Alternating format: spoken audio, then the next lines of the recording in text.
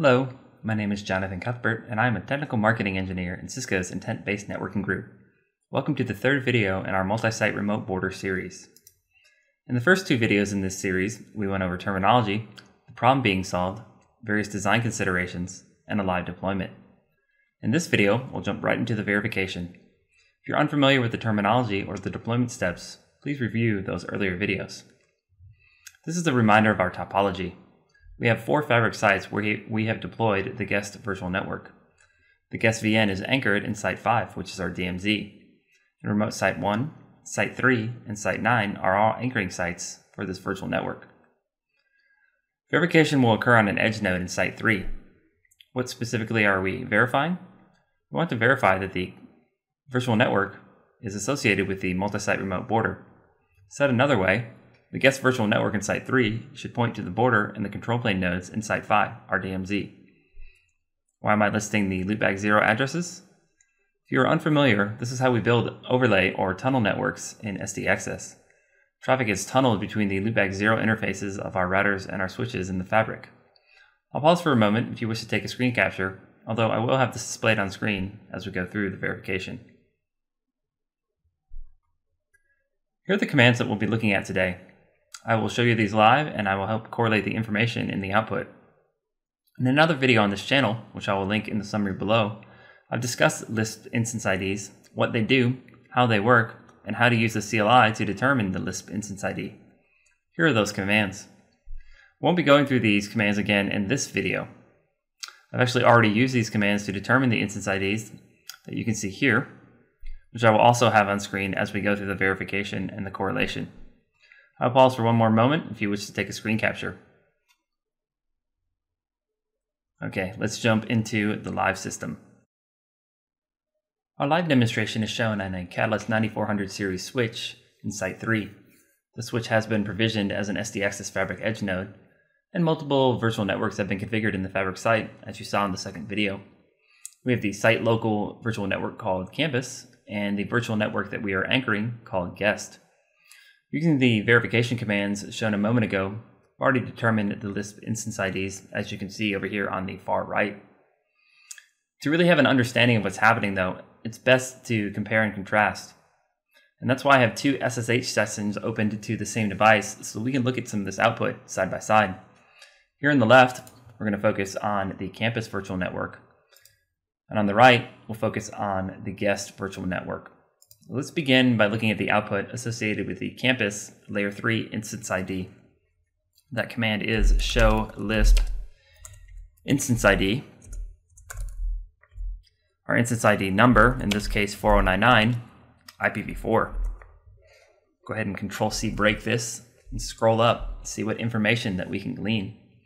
This is instance ID 4099 and it is associated with VRF campus.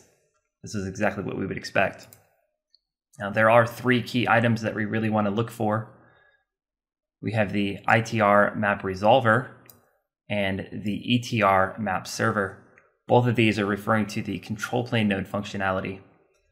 And we also have the proxy ETR, which refers to the border node.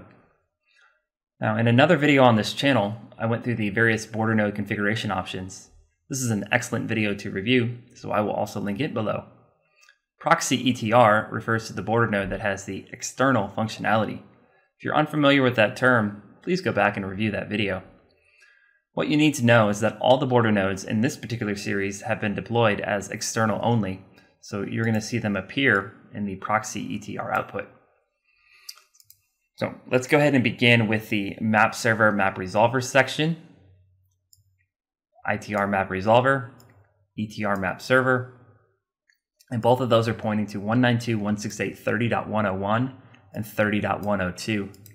Looking at our legend over here on the right, we can see those are the site local control plane nodes. Under the proxy ETR section, or the border node section, this virtual network is configured to point to 192.168.30.7 and of course 30.8. Those are our site local border nodes. Let's take a quick look at the Lisp Layer 2 instance ID that's associated with this VRF. We might need to do just a little bit of correlation here, and we can do that with the show VRF brief command. If we look at our campus VRF, we can see interface VLAN 1034 is associated with it. That means VLAN 1034 is also associated with it. Let's look at this from the perspective of the Lisp instance ID, and I'll tie this back together here for you. So that command is show Lisp instance ID. In this case, our layer 2 instance ID, which is 8195, Ethernet.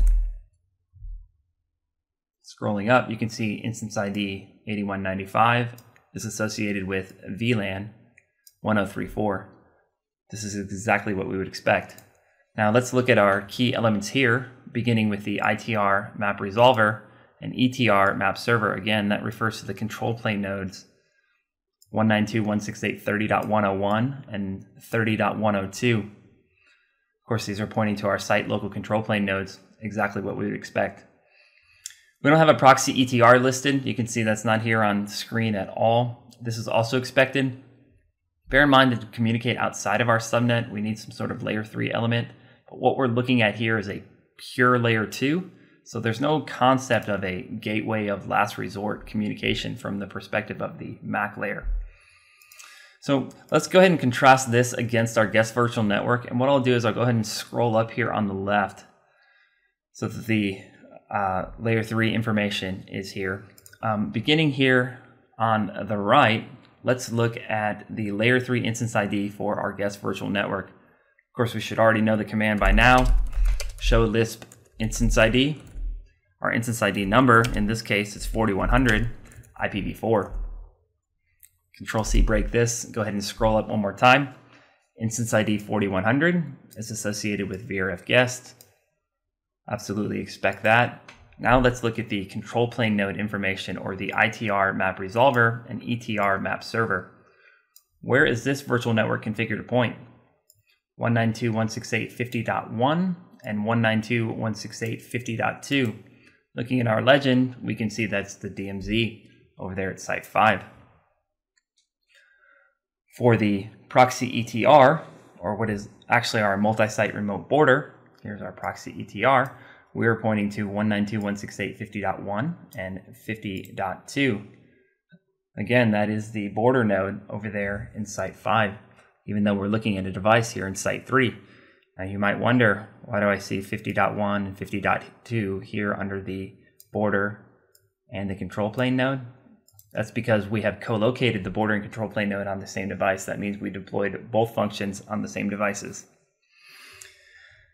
Let me go ahead and scroll down the guest layer 2 or excuse me the campus layer 2 information over here and let's look at the guest layer 2 output again let's do a quick correlation we'll do show vrf brief we can see our guest vrf the interface associated with that interface VLAN 1040 which means VLAN 1040 let's do this from the perspective of the instance ID so show lisp instance ID, our instance, our layer two instance ID in this case is 16225 Ethernet.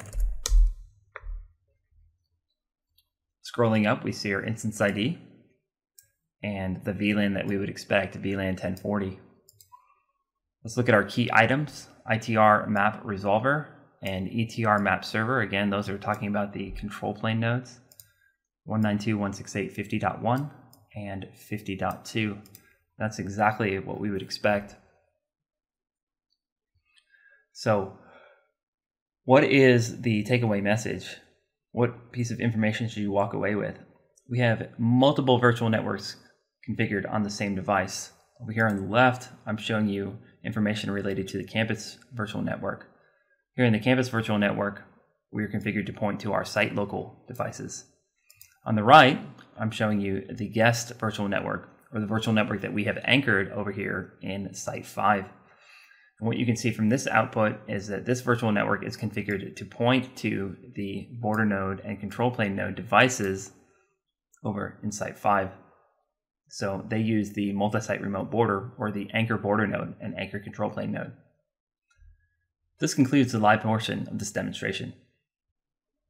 In this video, we contrasted the site local virtual network configuration against the Anchor VN configuration on an edge node that was hosting that Anchor VN. By doing so, we verified the configuration of our multi-site remote border or our VN anchor configuration.